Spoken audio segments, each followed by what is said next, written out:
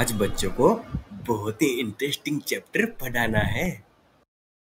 Hello Chandan sir good morning कैसे हो आप?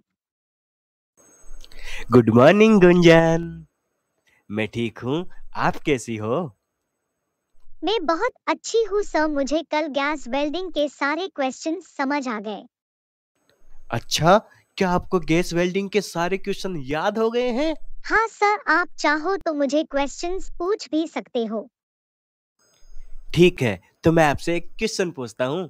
जब हम गैस वेल्डिंग स्टार्ट करते हैं तो सबसे पहले कौन सी गैस का वाल्व ओपन करते हैं? सिंपल है सर एसिटिलीन वाह! बिल्कुल सही जवाब। थैंक यू सर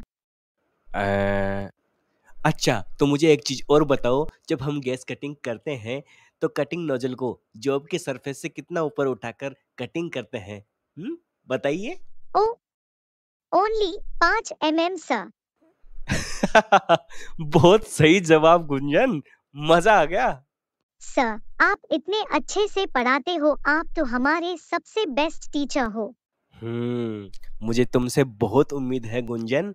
तुम एक दिन अपने और अपने माता पिता का और साथ में मेरा भी नाम रोशन करोगी। लेकिन गुंजन, सावधान रहना।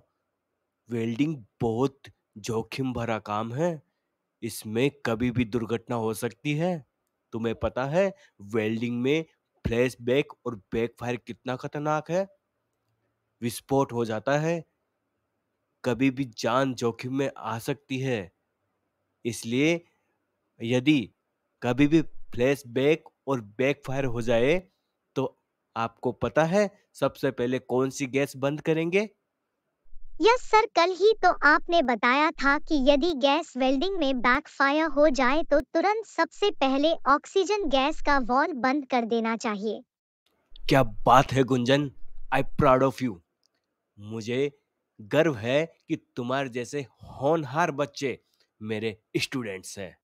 अच्छा बेटा अब आप क्लासरूम में बैठिए मैं बस थोड़ी देर में अपने वेल्डिंग की थ्योरी क्लास लेने आपके क्लासरूम में आ रहा हूँ। ठीक है? ओके सर सारे स्टूडेंट को आपकी क्लास का इंतज़ार रहता है।